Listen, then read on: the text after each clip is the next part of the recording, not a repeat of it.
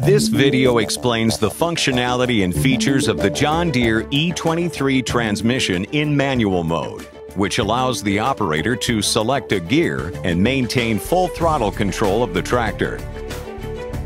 The modules available to the operator are max speeds and set speeds. Set speeds can be viewed on the transmission and run pages but can only be adjusted using the set speed adjusting wheel on the transmission control lever. Just like in custom mode, the performance module is available to the operator. Eco Performance allows the operator to set two minimum engine operating speeds.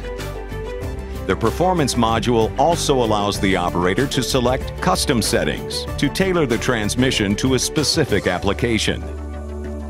Custom settings allow the operator to adjust engine speed droop, along with PTO, hitch, and SCV load anticipation settings.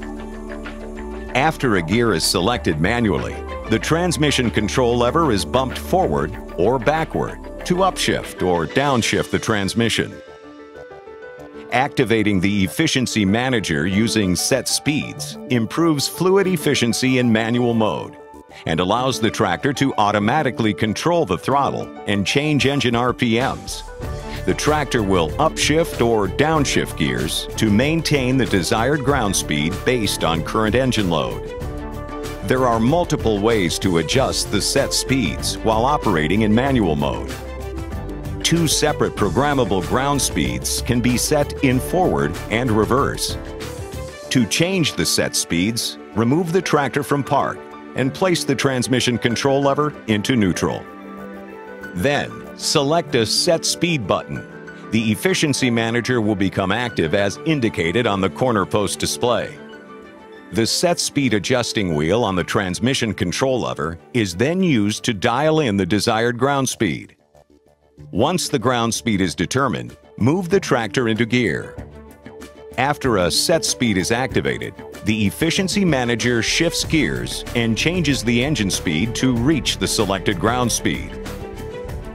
An outline box appears on the transmission module to show which speed is active, and the Efficiency Manager indicator light is visible on the corner post display.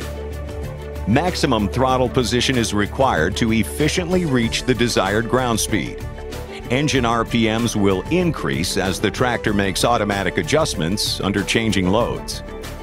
The set speed adjusting wheel is used to adjust the set speed value while the tractor is in gear.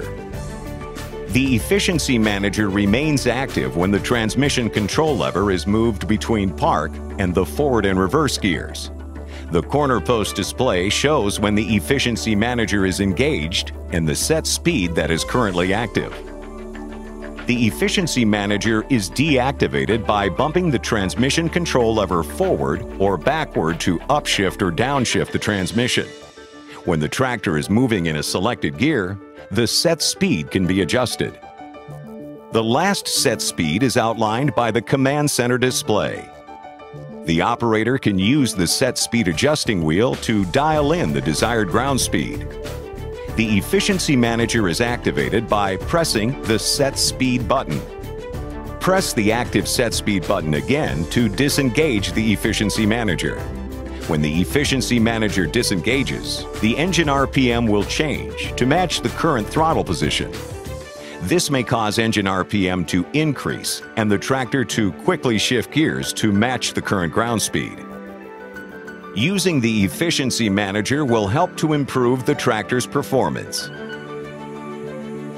Additional John Deere videos are available on how to set up and operate the other transmission modes.